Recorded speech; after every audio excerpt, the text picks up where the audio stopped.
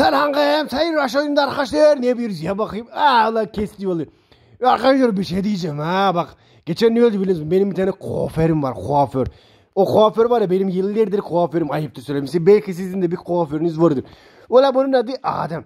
Adem'e gidiyorum. Adem diyorum kuaföre tıraşa geldim. Ne oluyor la? Ha? O bunları çıkartınca para mı kazanıyorum? Dur dur. Adem'e gidiyorum arkadaşlar. Adem diyorum tıraşa geliyorum. Beni bekletme beni sıraya al.